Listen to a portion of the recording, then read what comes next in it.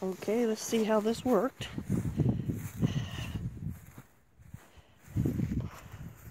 Well, I'll be dogged. It worked. That one's not frozen over.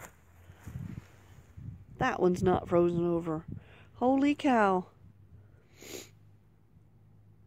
That actually worked. Okay, so what I did was uh, put half a, filled up half of this jug with water and put in um, a three, about three quarter cup of Epsom salt, shook it up real good and put it in here last night. Tied it off because the last time I did it, the horses got a hold of the buckets and took them out. So I tied them off, put them on the, something they couldn't pull up. And, um, holy cow, it actually worked. It kept the water from freezing. I'll be darned. Cool beans. Cool beans.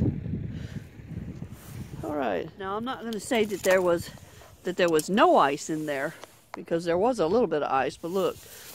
Look at the difference. This is the ice. This is the thickness of the ice the last two days I came out here. Same time, same temp. That's the thickness of the ice last two days. This was the thickness of the ice today and it wasn't even it was sunken in. It wasn't even frozen over the solid top. See the difference? This was frozen over the solid top. I had to bust this up the last two days just to get to the water. This is much much better. Yeah I like this idea. I think I'll stick with it. So I cleared out all the ice.